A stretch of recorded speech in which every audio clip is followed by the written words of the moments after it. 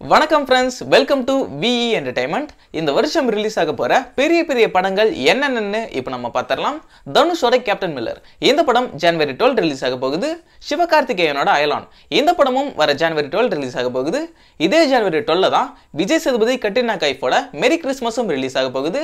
Super star ரஜினிகாந்தோட Lal Salaam படம் வர ஜனவரி twenty six இல்லை பிப்ரவரியில் ரிலீஸ் ஆகும். சியான் விக்ரமோட தங்கலான்.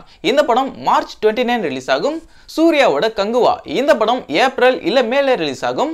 உலகநாயகன் கமல்ஹாசனோட இந்தியன் டூ இந்த படம் ஏப்ரலில் ரிலீஸ் ஆகும். தனுஷோட டி ஃபிஃப்டி இந்த படமும் ஏப்ரலில் தான் ரிலீஸ் ஆகும். ஏகேவோட விடாமுயற்சி. இந்த படம் அவரோட பர்த்டே ஸ்பெஷலாக மே ஃபர்ஸ்ட் ரிலீஸ் ஆக வாய்ப்பு இருக்கு. அதே மாதிரி தளபதி விஜயோட the greatest of all time இந்த படமும் அவரோட பர்த்டே ஸ்பெஷலாக ஜூன் டுவெண்ட்டி டூ ரிலீஸ் ஆக வாய்ப்பு இருக்கு. சூப்பர் ஸ்டார் ரஜினிகாந்தோட வேட்டையன். இந்த படம் வர சம்மருக்கு ரிலீஸ் ஆக போகுது. சிவகார்த்திகேயனோட எஸ்கே டுவெண்ட்டி ஒன் இந்த படமும் வர சம்மருக்கு தான் ரிலீஸ் ஆக போகுது. இந்த படங்கள் தான் இந்த வருஷம் வரப்போகிற பெரிய பெரிய படங்கள். இதுல நீங்க எந்த படத்துக்காக ஈகரா வெயிட் பண்றீங்கன்னு கமெண்ட்ல சொல்லுங்க.